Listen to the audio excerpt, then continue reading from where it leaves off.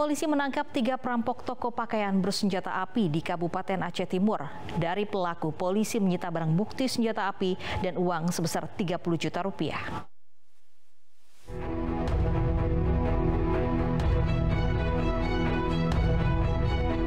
Tiga orang perampok toko pakaian bersenjata api di Kabupaten Aceh Timur ditangkap polisi.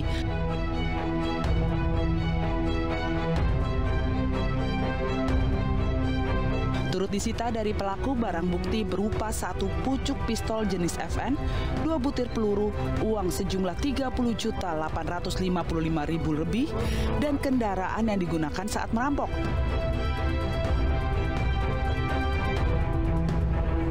Pelaku ditangkap di kawasan perkebunan di Aceh Timur.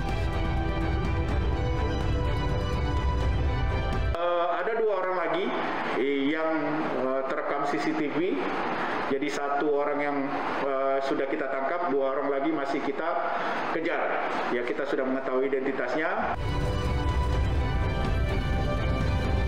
Aksi kawanan perampok terekam kamera pengawas yang terpasang di dalam toko pakaian.